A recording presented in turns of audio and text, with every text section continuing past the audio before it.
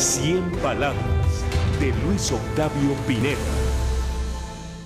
El paro indefinido de labores de la CENTE mantiene en incertidumbre a los padres de familia en Chiapas y con el Jesús en la boca de no perder más días clase.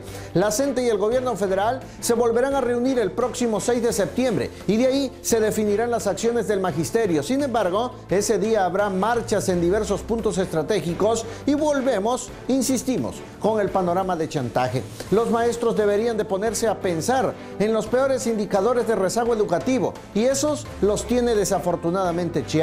Aunque no hubo paro esta semana, en muchas instituciones escolares inició el ciclo escolar en medio de una turba de conflictos internos del magisterio, donde a muchos docentes se les impidió los accesos para participar en el proceso de cadena de cambios y ascensos de la Secretaría de Educación. Ya basta de que ahora estos conflictos internos o derechos de algunos maestros sean coartados por la propia CENTE, pero peor aún, sigan afectando a la población estudiantil.